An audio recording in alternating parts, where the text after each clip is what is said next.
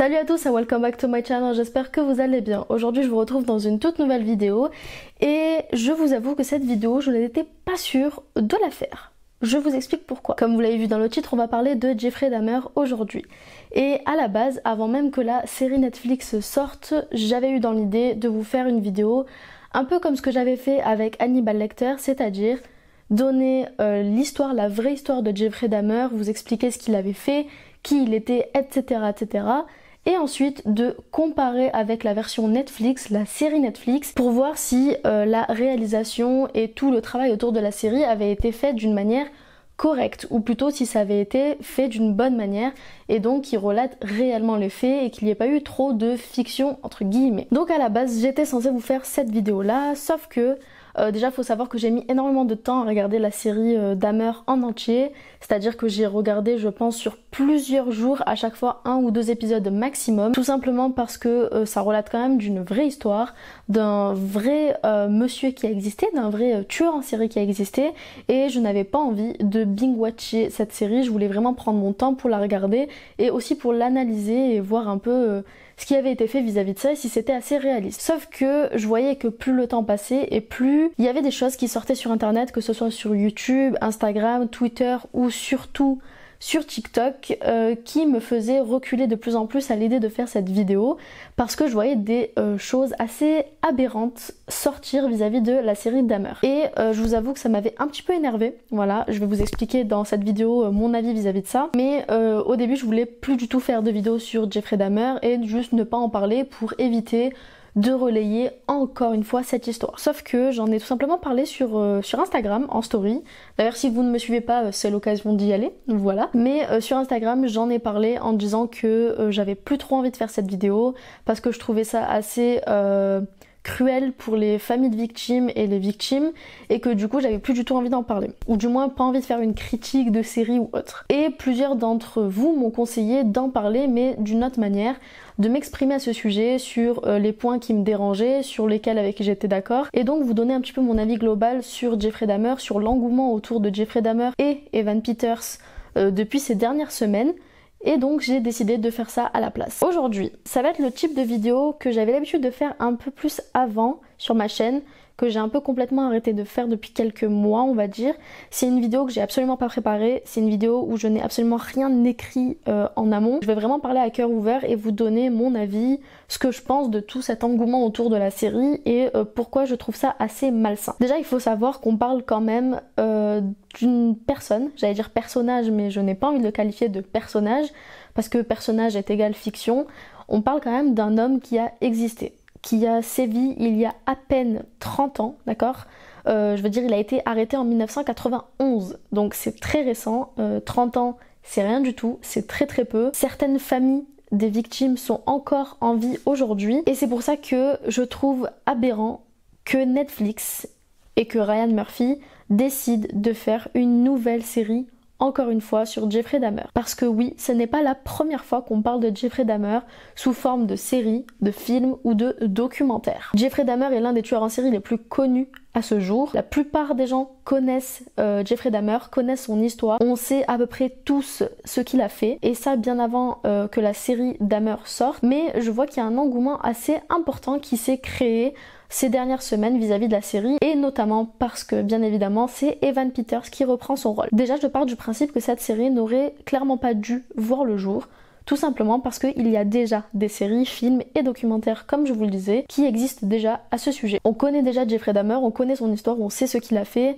Je veux dire, on a assez de contenu sur cet homme. Et comme je vous l'ai dit, cette histoire est vraiment récente. Beaucoup trop récente en réalité pour en parler aussi ouvertement. Et même si elle fait partie du domaine public, donc c'est-à-dire que Ryan Murphy avait complètement le droit d'une manière légale au niveau de la loi de faire cette série, je trouve quand même que ce n'est pas très juste pour les familles des victimes d'avoir sorti cette série. Pourquoi? Déjà dans un premier temps, pour ceux qui ne le savent pas, les familles euh, des victimes de Jeffrey Dahmer ont soit refusé cette série, n'ont pas voulu qu'elle sorte parce que ça allait encore ouvrir des vieilles blessures et des vieux traumatismes vis-à-vis des pertes qu'ils ont eues et donc réouvrir un deuil qu'ils ont. Et en plus de ça, d'autres familles, d'autres victimes n'ont pas du tout été au courant que la série allait sortir. Et pourquoi est-ce que ça me dérange? Eh bien tout simplement parce que on a quand même une tête d'affiche. On a Evan Peters qui incarne le personnage de Jeffrey Dahmer.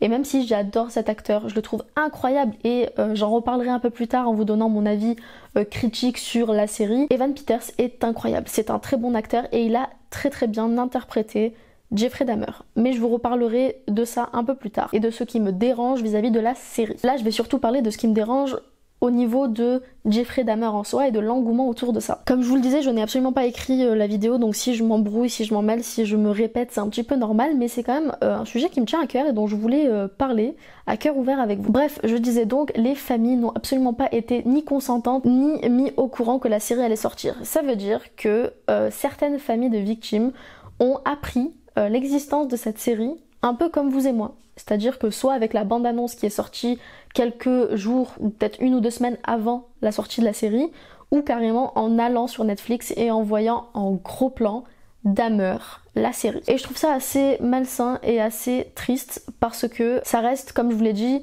des traumatismes qui sont encore beaucoup trop présents.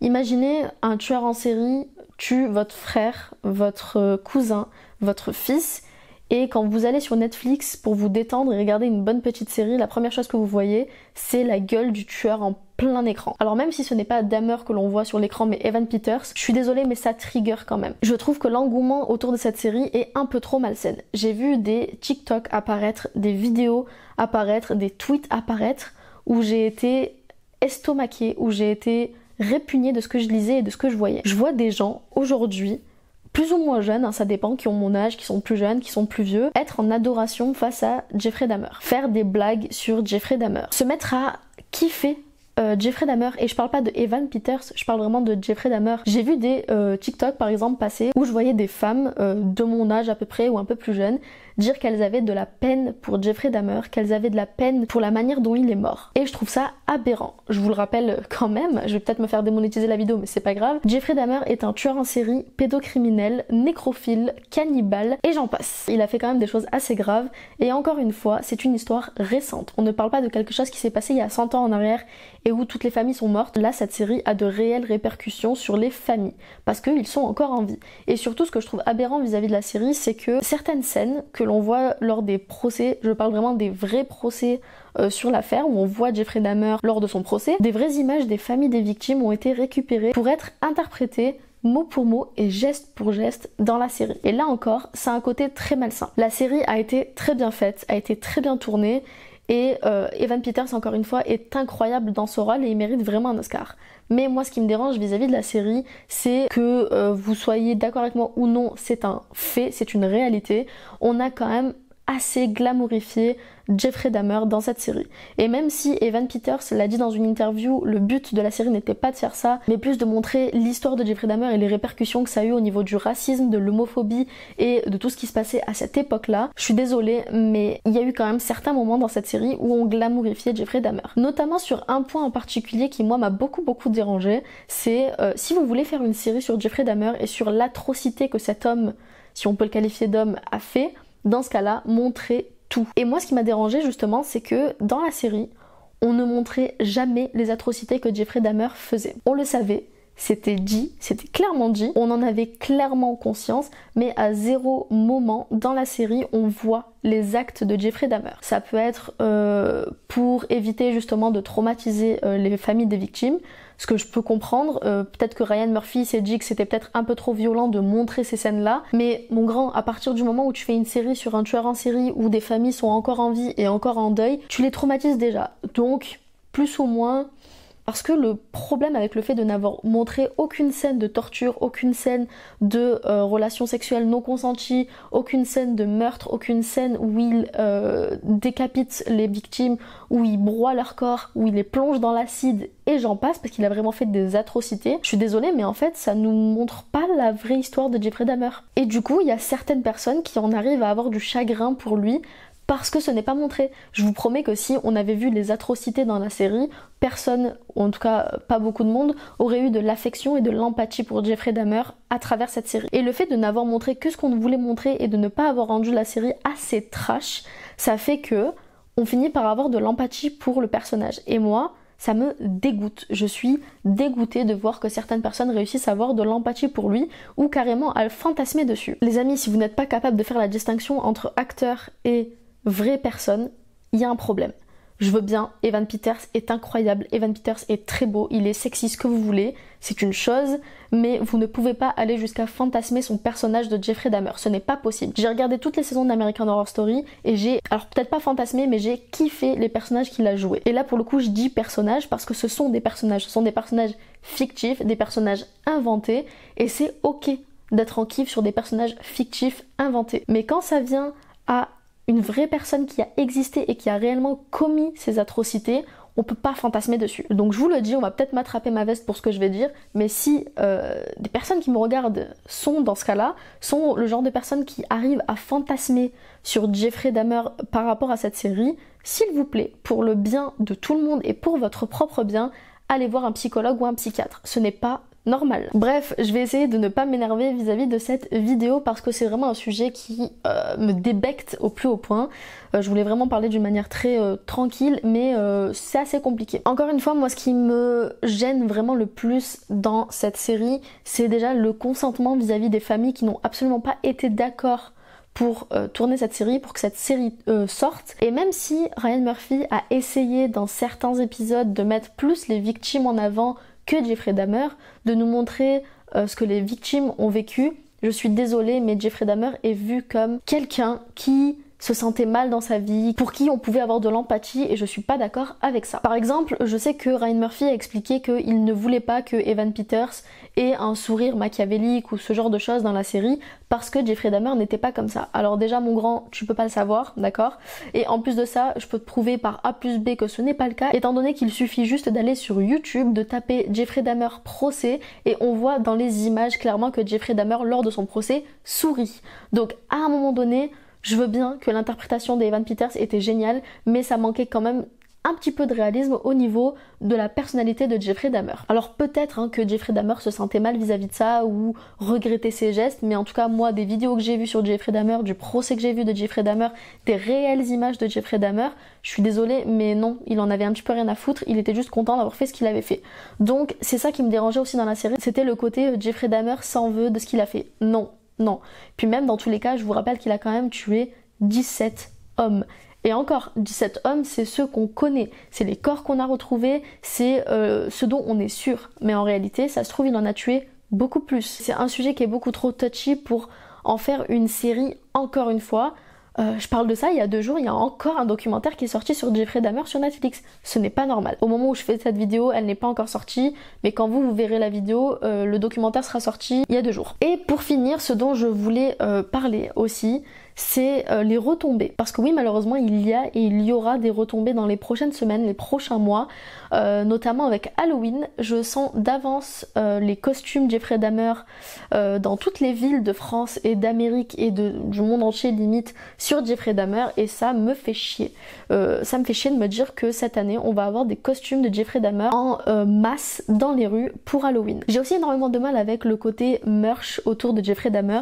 Je vous jure, il suffit de noter sur euh, Google Jeffrey Dahmer merch et vous tomberez sur une panoplie de sites qui vous vendent des euh, t-shirts, des stickers, des objets à l'effigie de Jeffrey Dahmer. J'ai même vu un sanctuaire dédié à Jeffrey Dahmer sur l'un des sites et je trouve ça horrible et inconcevable. Ce n'est pas normal et je suis désolée, je vais en pointer peut-être certains d'entre vous, hein, je pense, mais j'en ai marre aussi des gens qui se cachent derrière leur humour noir pour faire des blagues de merde sur Jeffrey Dahmer et sur les meurtres de Jeffrey Dahmer. Encore une fois, les amis, les familles des victimes sont toujours vivantes. Les familles des victimes vivent encore leur deuil aujourd'hui et ce n'est pas normal de faire des blagues, de faire des costumes, de vendre des stickers et des t-shirts à l'effigie de Jeffrey Dahmer. Vraiment, j'ai qu'une chose à dire, la honte c'est vraiment une honte à tous ceux qui font ce genre de choses. Les gens qui commercialisent Jeffrey Dahmer, vous êtes une honte. Bref, je pense que je vais m'arrêter là pour éviter de péter un câble, mais en tout cas, concernant la série euh, sur Jeffrey Dahmer, même si j'ai adoré l'interprétation d'Evan Peters qui est incroyablement euh, bien faite,